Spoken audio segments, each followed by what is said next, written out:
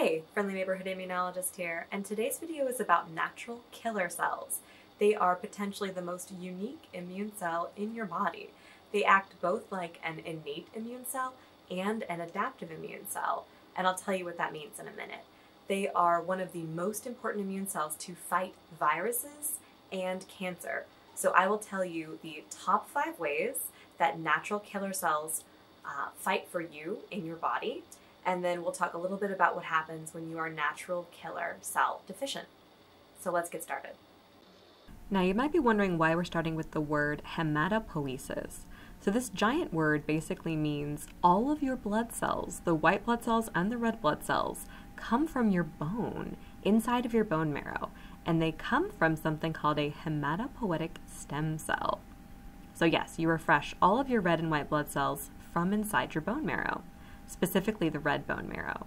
Now, a hematopoietic stem cell can create any cell it wants, but it usually gets broken down into two different types of stem cells the common myeloid progenitor and the common lymphoid progenitor. And I'm telling you this for a special reason, because natural killer cells are sort of in the middle here. Common myeloid progenitors give rise to innate immune cells like macrophages meaning that they run off of a pretty basic program that we all share. They also give rise to red blood cells, as well as other innate immune cells like neutrophils. And again, all these are pretty basic. They don't have memory, they don't live very long, you know, between 20 days and several months. Now, the common lymphoid progenitor gives rise to natural killer cells. And that matters because the only other two cells here are B cells and T cells. And B cells and T cells are your longest lived immune cells. They have memory, B cells make antibodies for you, and T cells are basically your generals that tell all the other immune cells what to do. So here you can see that natural killer cells are more related to B cells and T cells because all three of these cell types have interactions with name tags. And by name tag, I mean a large molecule that makes you unique. It's pretty much as unique as your fingerprint. All right, so now we can finally talk about natural killer cells. Let me adjust this a little bit so we can see both cells here. All right, here is our natural killer cell. It's going to interact with both a healthy cell and an unhealthy cell. So let's see here, normal cell on the blue cell, and then abnormal cell. Uh, I'll draw that on the gray cell. Now it's amazing, but the natural killer cell can very quickly tell what belongs to you and what doesn't. Okay, now how does it do that? I have color coded a little bit here so that the natural killer cell receptor is going to bind to the other yellow receptor on the normal cell. This interaction is the first interaction, and the receptor is called the killer inhibitory receptor. And it's called that because as long as you have a name tag that says, I belong to you, the natural killer cell will pretty much leave the cell alone. It's a pretty strict bouncer here. So, if the killer inhibitory receptor in yellow finds an MHC complex 1 that belongs to you in yellow, it's going to go ahead and be safe. It's going to get a safe signal. Uh, books often abbreviate the killer inhibitory receptor as KIR, and then I'll go ahead and draw out what's yellow on the normal cell major histocompatibility complex 1. This is your name tag. And all of ours are pretty unique. Some people share enough in common to be able to transplant tissue one to one another, but typically it's pretty unique. So number two, let's look at the orange receptors here. This is the killer activating receptor. So if this is present, the natural killer cell gets a signal to destroy and kill, which it is very, very good at.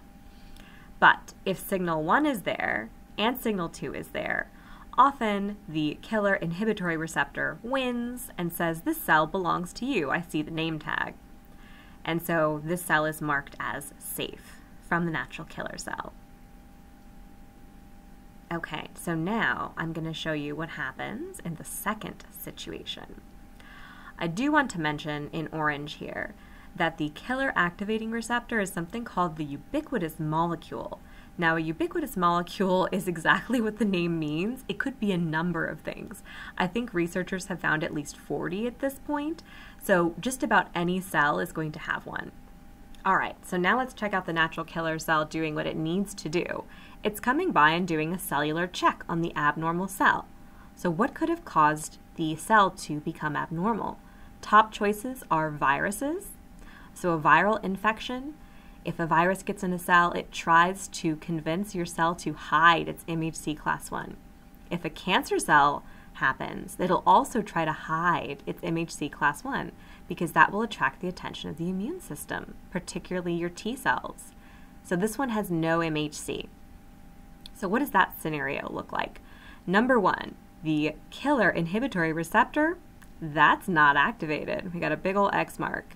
However, look at signal 2. Signal 2 is the killer activating receptor, and that gets a big old check mark because you can see here it's going to be activated.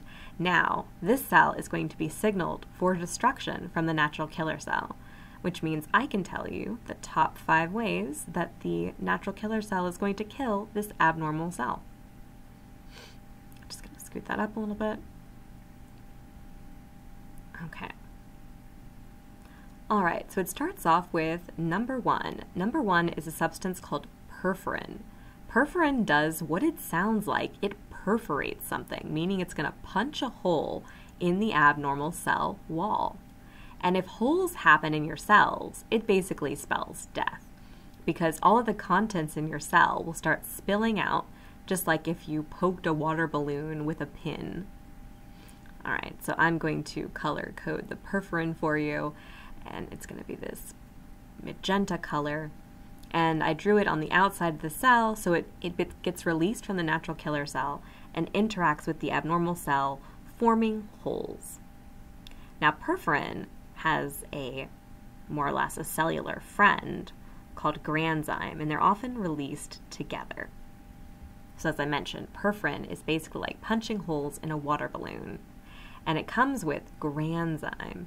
I'm going to draw granzyme as a smaller circle that's just how it's often drawn in textbooks.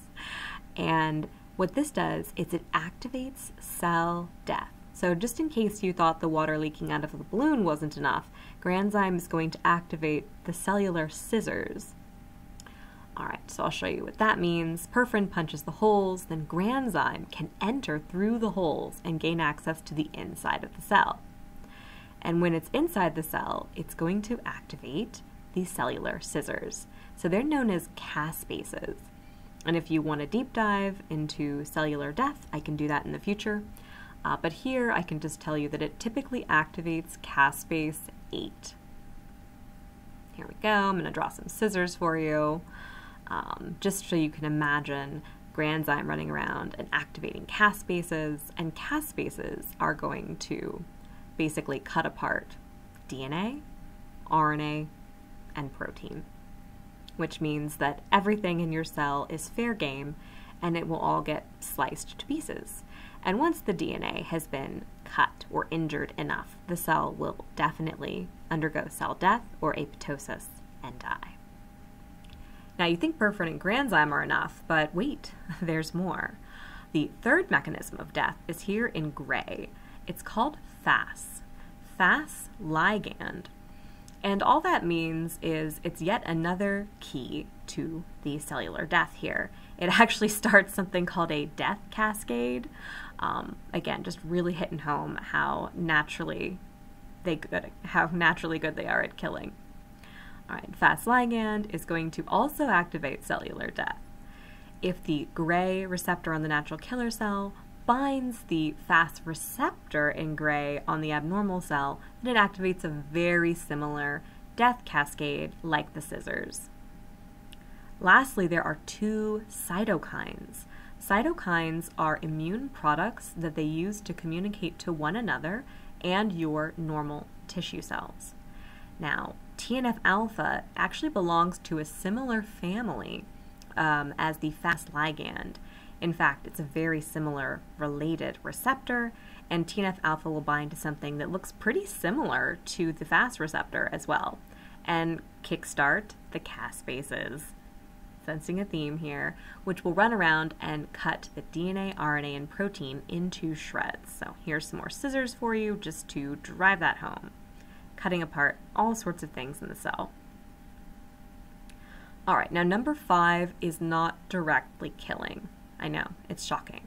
There are four ways of directly killing abnormal cells, and then there's an indirect way. So, number five is another cytokine. This is called interferon gamma. If you've been reading at all about um, HIV or different types of virus treatment, you might see interferon gamma come up. It basically boosts immune cells. So, this one is more of a helper function, a lot like those helper T cells. And it's going to boost immune cells like macrophages. And then macrophages are better able to kill virus, either externally or internally. So, one last thing about CD8 T cells. They can only kill cancer and virus as long as that yellow MHC class 1 is there. So the CD8 T cell could easily take down the blue cell. But if it tried to interact with the gray cell, there would be no MHC class 1. It's essentially cloaked and invisible to the CD8 T cell. So natural killer cells are essential to fill in the gap in the immune system. All right, I hope you understand the top five ways that natural killer cells fight for you. They're amazing at getting rid of cancer cells that are trying to hide from your other immune cells, like CD8 T cells. They're amazing at trying to get rid of viruses, particularly DNA viruses that like to hide in the nucleus, because those are the types of viruses that try to put on that, you know, cloak, that defensive shield, and hide their name tag, hide their MHC class 1 molecule. So natural killer cells really are the best friend sidekick to the CD8 T cells. They are Robin and Batman, and they need each other. So if you don't have natural killer cells, there's 40 different types of um, different diseases that involve natural killer cells. Some of them are mild, some of them are very severe. So if a person lacked all natural killer cells, they would be immune deficient.